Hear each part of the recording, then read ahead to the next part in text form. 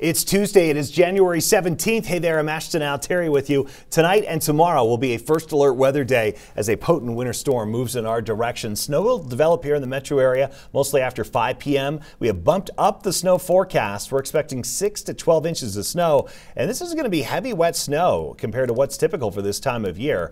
Uh, very unusual. Travel will become very difficult overnight tonight and into tomorrow morning, especially if you're going a great distance because of this weather. It's sort of the opposite situation from what what we typically see in January. Uh, we have a winter weather advisory in the mountains and then a winter storm warning here along the front range and on the eastern plains.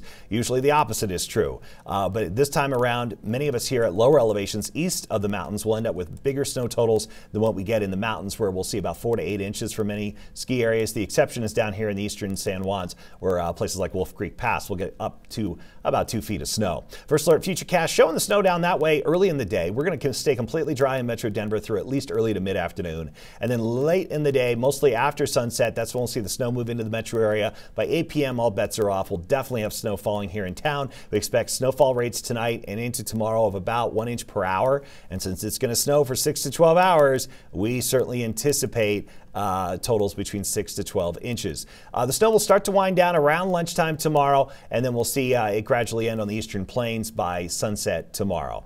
Temperatures for today top out in the 30s. It's going to be colder than it's been the last couple of days. And speaking of cold, tomorrow highs only in the 20s, so we'll be chilly but not quite chilly enough to keep this light and fluffy. So this is going to be heavier and wetter snow than usual for us.